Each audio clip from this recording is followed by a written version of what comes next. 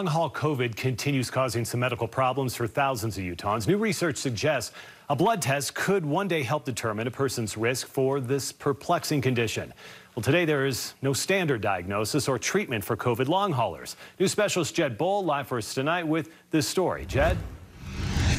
Yeah, Mike, right now there's no way to determine if a person is at risk for long COVID before they catch the virus.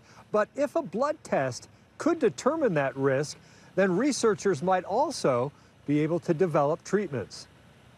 Most days now, um, I feel 90 to 95% better. Lisa O'Brien is one of Utah's first long haulers, experiencing strange symptoms since March 2020. Once or twice a week, I'll wake up and feel like this really weird surge or like internal vibrations in my chest area. Um, my lips will kind of vibrate or tingle when I eat certain foods. She occasionally still feels fatigued, but she is no longer losing clumps of hair or experiencing drastic fluctuations in her heart rate. However, I am one of the lucky ones because I have a lot of friends who are two years into this now.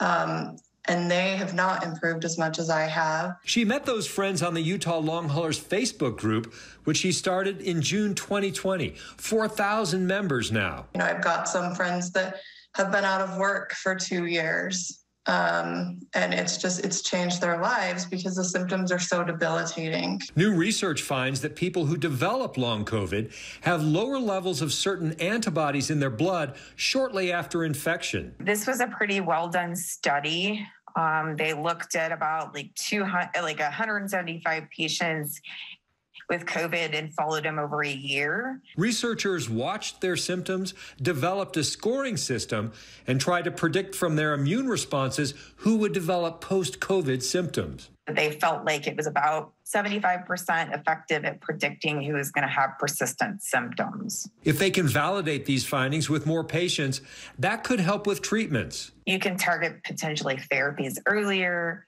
or identify those patients for research long term.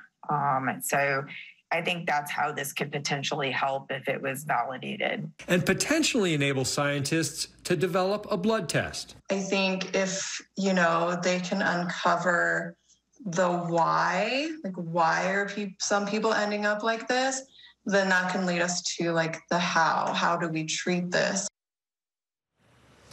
Dr. Brown tells me it's estimated that about 30% of those who catch COVID have persistent COVID symptoms over some period of time. Guys? All right, Jed Boal live for us tonight. Interesting. Jed, thank you.